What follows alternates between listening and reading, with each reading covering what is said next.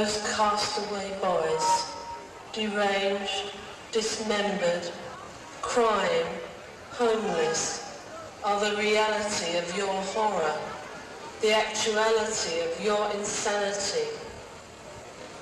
That horror is the heritage that you create.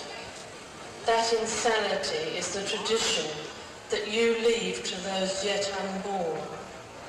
Your minds are filth. Your lives are corruption.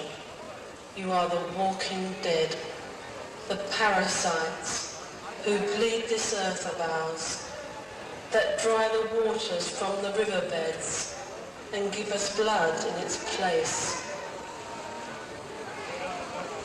You stand accused of premeditated, calculated and cold-blooded murder. Your crimes are well documented. Your guilt is the responsibility that one day you will have to realize.